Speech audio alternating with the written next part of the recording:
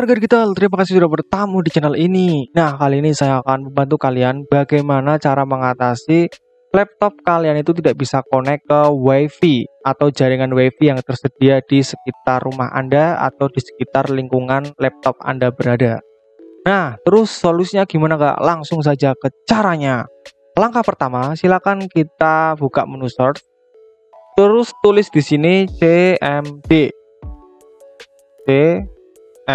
CMD atau command prompt. Nah, jika sudah muncul seperti ini nih command prompt, kita klik yang ini ya, run as administrator. Kita klik yang ini. Jika ada perizinan, kita cukup klik yes saja. Nah, jika sudah muncul seperti ini, silakan kalian buka kolom deskripsi video ini. Nah, di situ ada tulisan semacam ini nih. Nah, jika sudah muncul tulisan semacam ini nih, kita cukup kopikan saja ini. Kita copy nomor satu terlebih dahulu. Kemudian kita pastekan di sini nih. Cara mastekannya gimana kak? Cukup kalian tekan Ctrl dan V secara bersamaan. Nah jika sudah dipastekan di sini kita klik enter saja. Nah jika sudah muncul seperti ini silakan kita lanjut ke yang nomor 2 kita kopikan ini. Kita copy terus kita pastekan di sini ya kita klik saja di keyboard Ctrl dan V secara bersamaan. Kemudian kita klik enter. Nah, kemudian kita lanjut ke nomor 3. Kita kopikan. Kemudian kita pastekan di sini.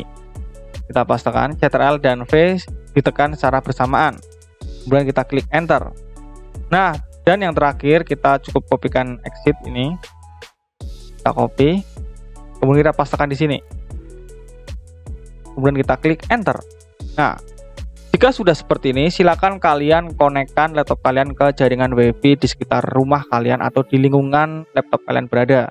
Jika sudah bisa connect, kalian tidak usah lanjut ke langkah berikutnya. Tapi kalau semisal masih saja belum bisa connect, kalian bisa lanjut ke langkah berikutnya. Nah, langkah berikutnya, silakan kalian klik kanan pada menu desktop Nah, kemudian kita klik personalize.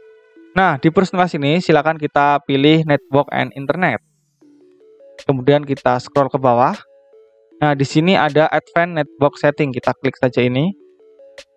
Nah, kemudian kita scroll ke bawah lagi. Nah, di sini ada network reset. Kita klik saja ini. Nah, kemudian setelah itu kita pilih reset now. Dan jika muncul seperti ini kita klik yes dan tunggu hingga proses reset selesai.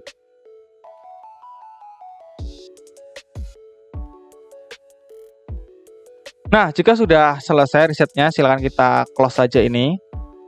Nah, kemudian silakan kalian konekkan laptop kalian ke jaringan WiFi di sekitar laptop kalian berada. Jika sudah bisa connect, kalian tidak usah lanjut ke langkah berikutnya. Tapi kalau misal masih belum bisa connect juga, kalian wajib lanjut ke langkah berikutnya.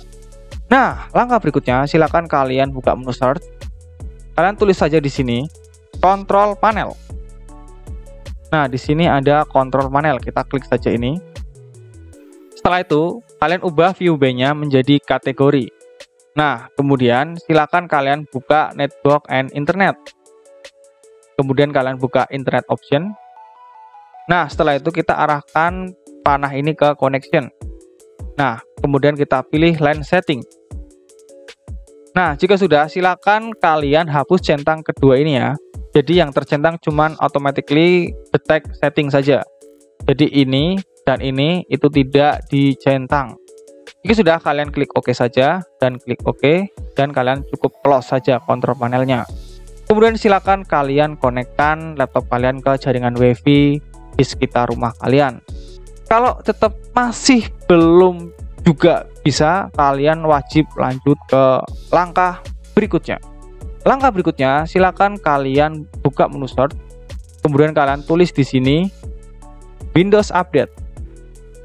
Nah, kemudian kalian klik ini Windows Update Setting. Nah, setelah itu silakan kalian update Windows 11 kalian ke versi terbaru. Caranya tinggal kalian klik yang di bagian sini. Kalian klik dan tunggu hingga proses update selesai. Nah, jika proses sudah selesai update-nya, silakan kalian restart laptop kalian.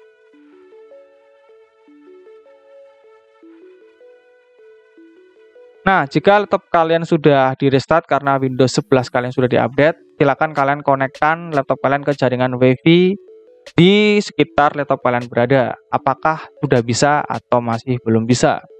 Nah, tapi kalau tetap masih belum bisa, kalian wajib membeli produk eksternal, eksternal WiFi. Contohnya adalah TP-Link BN 722N atau sejenisnya. Nah, TP-Link atau WiFi dongle itu atau WiFi eksternal itu gunanya untuk apa?